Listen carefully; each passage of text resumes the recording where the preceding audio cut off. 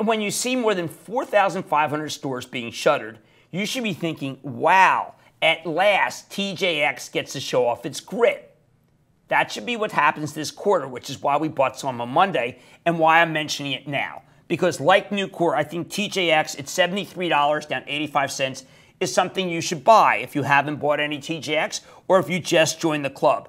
I know that TJX is an expensive stock rather, rather uh, relative to other retailers, but it's a growth retailer. They're still putting up stores. I would be a buyer of TJX at 73, just like I would be a buyer of Nucor at 59.